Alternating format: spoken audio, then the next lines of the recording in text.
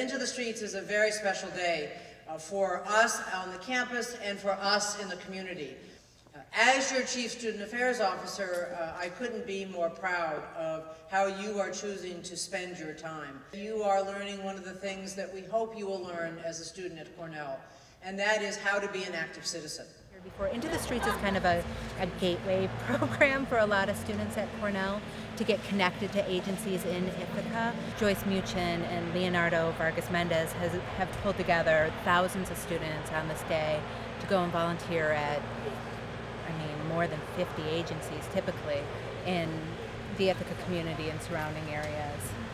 So I think that very often a student will come in in the beginning of the school year, do into the streets, get connected to the agency and establish a relationship throughout the rest of the year and then the rest of their Cornell career. I think that happens all the time, and I think it's a real benefit to it. Um, we're working with Into the Streets, obviously, um, to help out East Ithaca Preschool, and they're kind of uh, sanding down the cute little uh, fire truck structure over there that they're going to paint over it and we're painting over the wood structure here and we were going to work on this table as well just to uh, kind of beautify the area and make sure it's safe for the kids as well.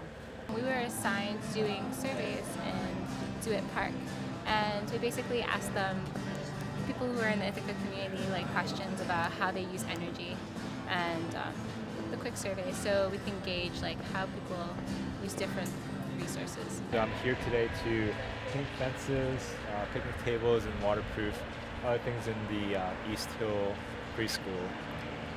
It's about 15 minutes away from campus right now. Every year, I know communities and agencies count on this event to get certain things done.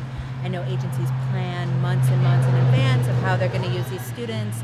And in a community that's filled with nonprofit agencies and filled with community agencies, to have the Cornell students and the Public Service Center as a resource to really help staff and give man hours to those agencies is valuable. I mean, they count on it every year for these teams to come, and they count on Joyce and Leonardo to, to provide their agencies with much needed support.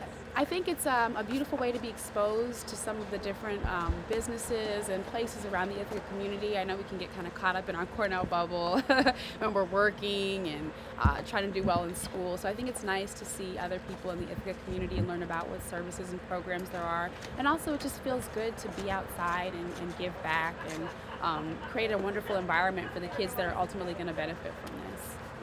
Honestly, I liked meeting random people and hearing their stories. So this is actually my second time coming out to Into Streets, and I think it's a great day. It is only a one-day event where we get to come out and help out the community.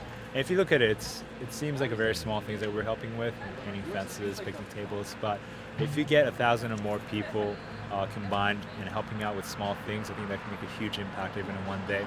So I think it's just, uh, we're busy students at Cornell, but I think it's just a good day to get off campus and uh, realize that we don't need to wait to be in a certain position to help out the community, that every day we can help out with the community around us and we don't need to go somewhere far. Um, the community that needs help is right around us all the time. So I think it's just a good day to remember that there's always someone in need that we can reach out to as a community.